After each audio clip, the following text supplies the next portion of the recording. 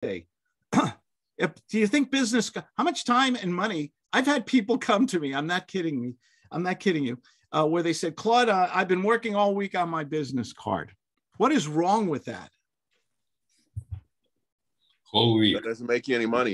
It Doesn't make any money. It doesn't make any money. Let's go back to my screen here.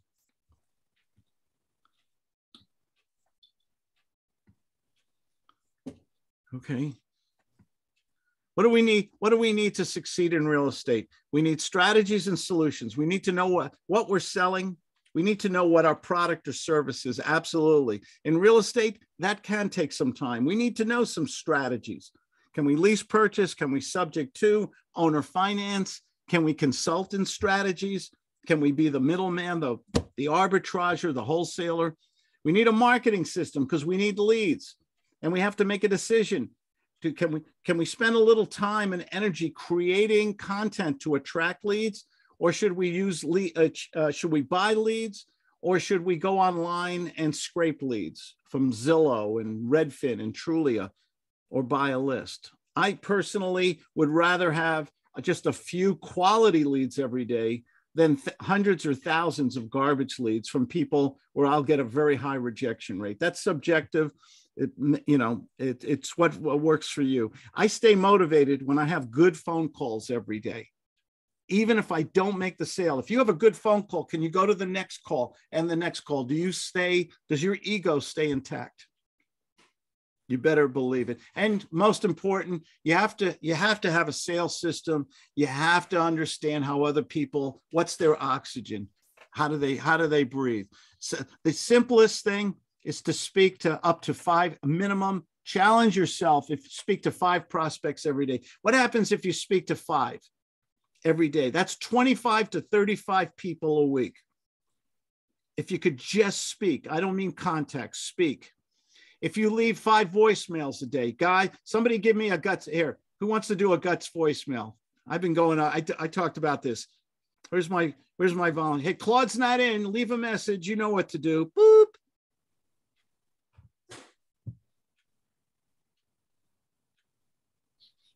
Go ahead, Chris.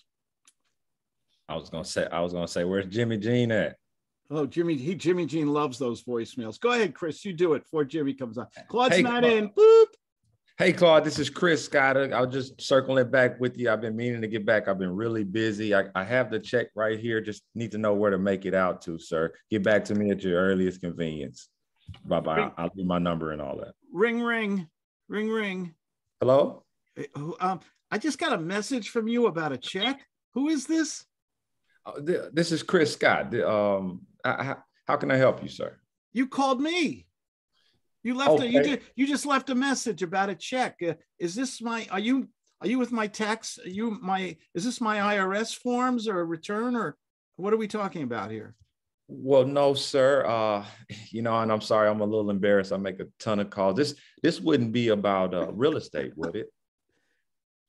Um, well, yeah, I got a condo for sale, but you said a check. Um, yeah, okay, that that that's it. Um, it, it's the condo for sale, and that's sold already, isn't it? No, no, it's available. It's back on the market. It fell out of escrow. Well, sir, are I want? Are you in the mood to make a lot of money today, sir? Oh God, what did off the role play? What did he just say?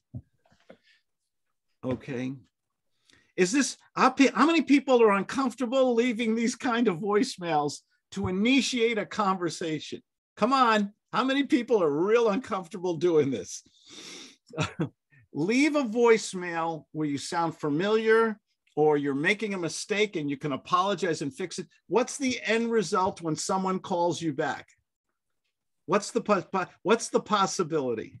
Doing business today. Amen you win. Amen. They call you back, you won. he hit your, he hit your greed button. You want to make a lot of money today? Yeah. Sir, I'm ready to do being positive. Did he sound confident, by the way? We talked about that before. Yes. Sounding confident. I'm so sorry. I made somebody go, oh, I screwed up here. What happens? And this is a word I used on Beer with Claude. It's my new favorite word vulnerability. Mm-hmm, mm-hmm. I don't even know if I think that's a 10, no, it's a $15 word vulnerability. What happens when you call somebody up?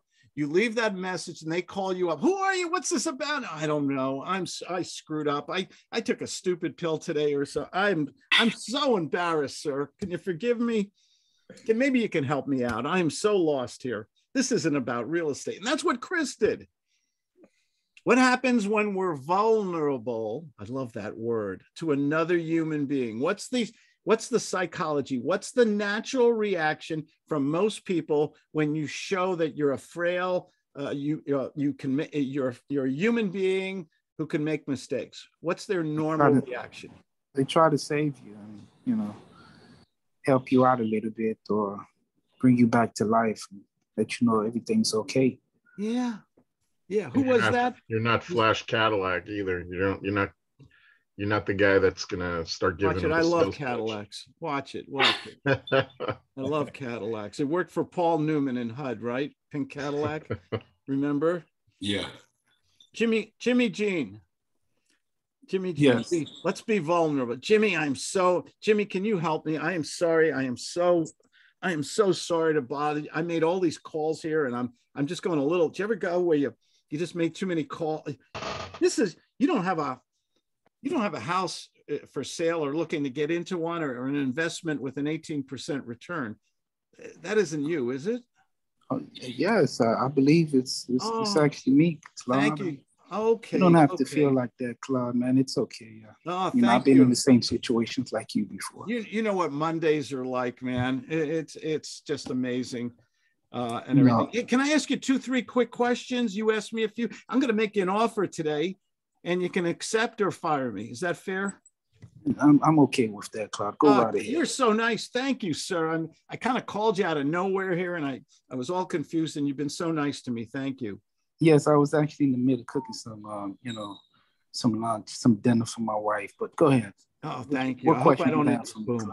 What happens when you show that you're a frail human being who can make mistakes and you admit them to another person what's the natural reaction not it's not guaranteed but what happens to a lot of people when you ask for their advice opinion or you say you might have made a mistake what's their reaction We want to help you.